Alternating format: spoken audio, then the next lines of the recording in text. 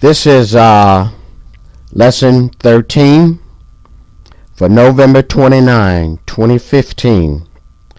Unit 3 Spreading the Gospel. Speak without fear. Our devotional reading is taken from Matthew 28:16 to 20. The background scripture Acts 18 and the print message is from Acts 18, 18 chapter 18, 1 through 11, 18 to 21. And the key, the key verse goes like this Then spake the Lord to Paul in the night by a vision Be not afraid, but speak, and hold not thy peace. For I am with thee, and no man shall set on thee to hurt thee for I have much people in this city. Taken from Acts 9, 9 and 10, Acts 18, 9 and 10, from the King James Version. Lesson aims. As a result of experiencing this lesson, the student should be able to do these things. Number one, Review Paul's zeal for teaching the gospel message to the Gentiles after he was rejected by the Jews. Explore feelings that after making a transition from a vocation in which one's knowledge and skills are rejected to a situation in which one is enthusiastically embraced. Number three, Pray for the success of those whom God has placed in a new and challenging, challenging situation.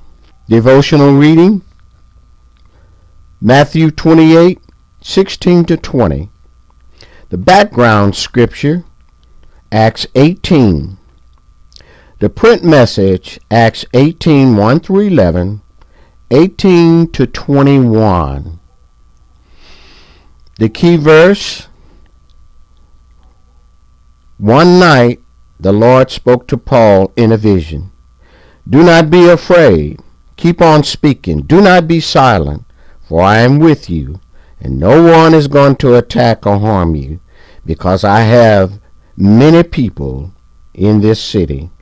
Acts 18, 9, 9th, and 10th verse. This is from the NIV. Our verse 1, Acts 18:1, goes like this. After these things Paul departed from Athens and came to Corinth. Paul had gone to Athens. That's where he found that the people had started to worship the unknown God.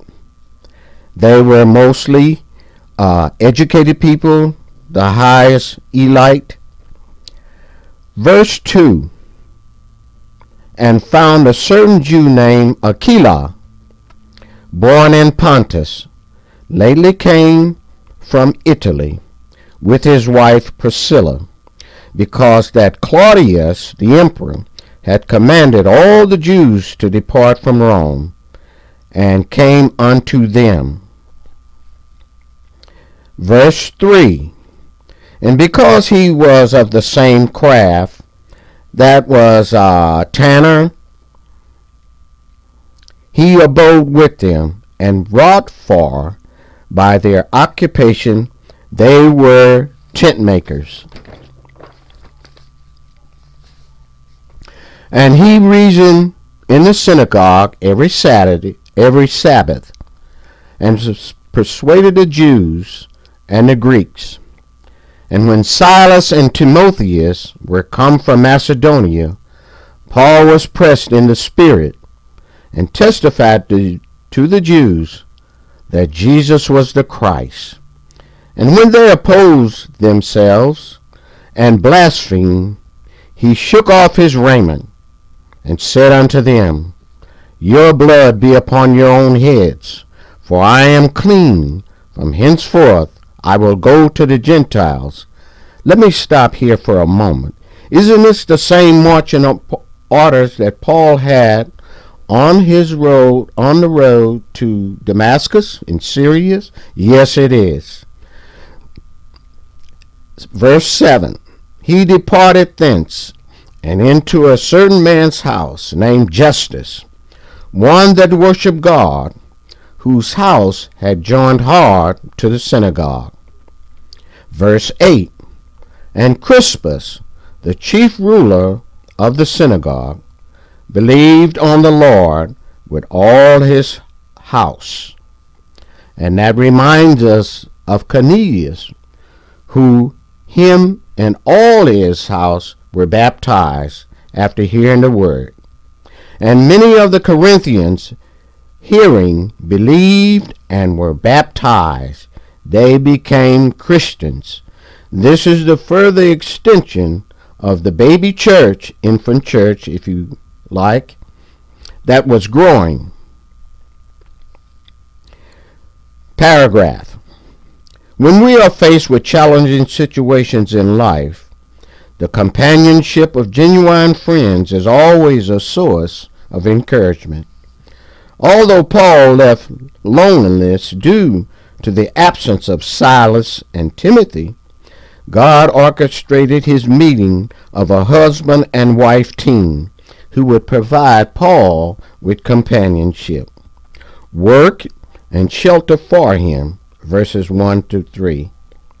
This couple and other Jews had been forced to leave Rome during the reign of Claudius the emperor in 49 to 50 AD. How Paul met Aquila and his wife Priscilla is not known. It may have been his need for supporting himself that led him to seek others with a similar trade. Sharing a mutual trade, in parenthesis, tent making and working with leather. And their home provided a base from which Paul could continue his ministry. And as was his custom, he went to the synagogue every Sabbath to dialogue with the Jews trying to convince them that Christ was the Messiah, whom they had rejected. Joined by Timothy and Silas, he turned his full attention to preaching exclusively to the Jews. We read in another verse that Peter were going to preach to the Jews and Paul's marching orders was to the Gentiles because God had told him there's some Gentiles over there that I want to save. This was probably made possible by a gift of financial support brought by his two companions. His efforts were again met by hostile rejection by the Jews. In response, he symbolically ended his ministry to them and turned his attention exclusively to the Gentiles. Paul found an ideal location from which to minister to the Gentiles that resulted in the conversion of the synagogue leader, his household, and many among the Corinthians. God can still lead others to us or us to them as a means of encouraging to continue ministering in challenging situations. What do you think? Describe a time when you were encouraged to continue ministering by the companionship of a fellow believer. Encouraged by God's presence. Acts 18 9 through 11. This is verse 9. Then spake the Lord to Paul in the night by a vision Be not afraid, but speak and hold not thy peace, for I am with thee, and no man shall set thee to hurt thee. For I have much people in this city. And he continued there for a year and a half, teaching the word of God to them. Paul's success among the Corinthians was the foundation of the church there. However, it is obvious from the night vision mentioned in verse 9 that he had feared being driven out of the city that had previously happened in Macedonia. More than likely, the unbelieving Jews were envious and were stirring up opposition against him. Paul and the infant church there, despite the, spread, the presence of new friends, old ones, and the support of the Corinthian converts, Paul was again in need of encouragement. And as Paul struggled on whether to continue to minister in Corinth, God provided encouragement of the highest kind, his divine presence, the Holy Spirit with Paul. And we read the verse where it says, He will be with us even unto the end of the age. Note that the promises God made his servant in this vision. First, Paul was assured that God was with him, and therefore he had no need to fear to continue preaching the gospel.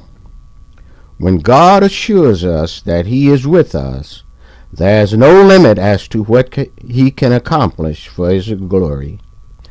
Secondly, he was assured of God's divine protection. What can human mankind do to us when God is protecting us? Finally, God encouraged Paul by revealing to him that many were and would be saved as a result of his ministry.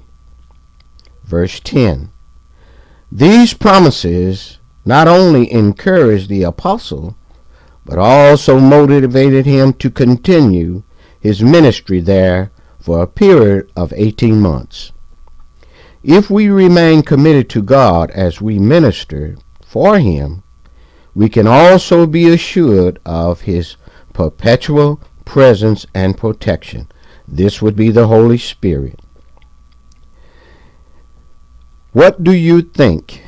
In what specific ways have you experienced the assurance of God's presence and protection as you incur as you engaged in ministry for him. Submitting to God's will. Verse 18, Acts 18 18.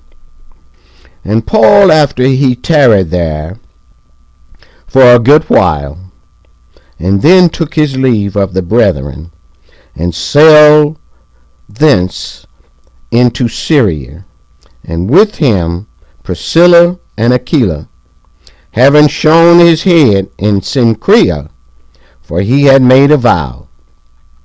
And he came to Ephesus, and left them there, but he himself entered into the synagogue, and reasoned with the Jews.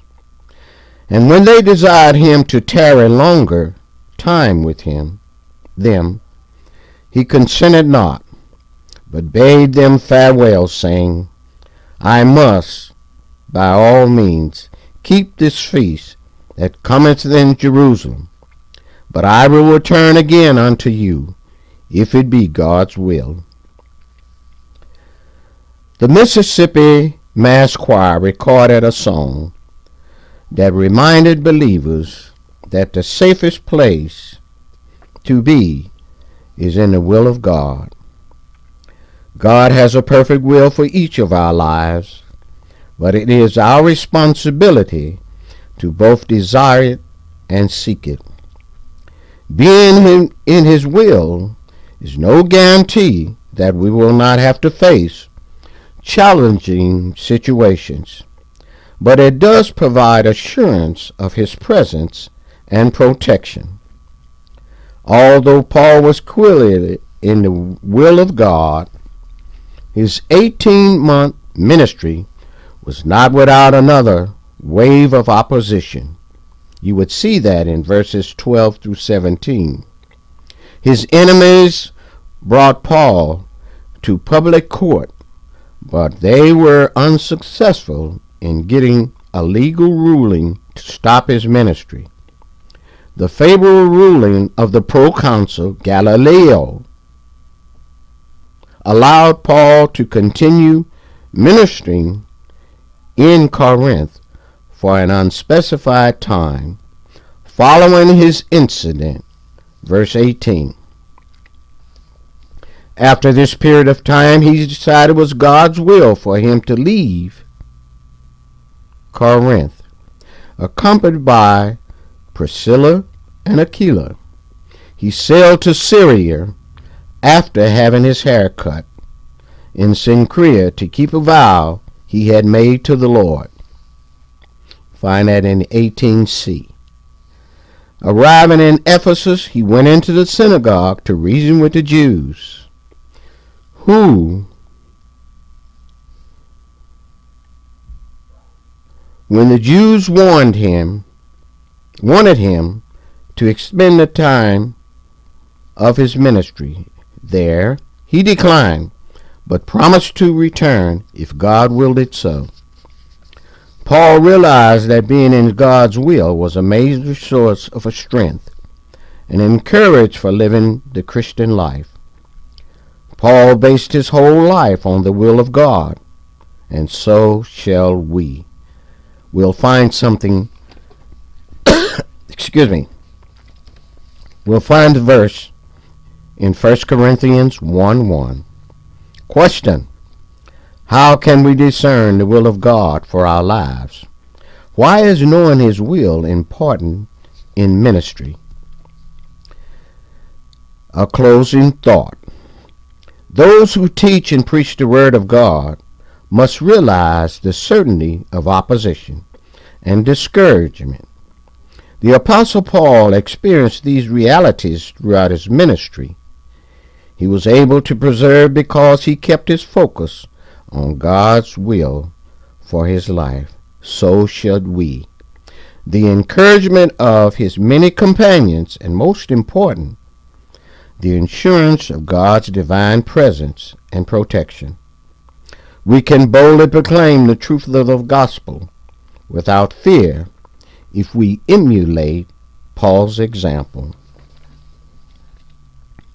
Your life Select a spiritual leader or teacher in your congregation and offer encouragement to that person.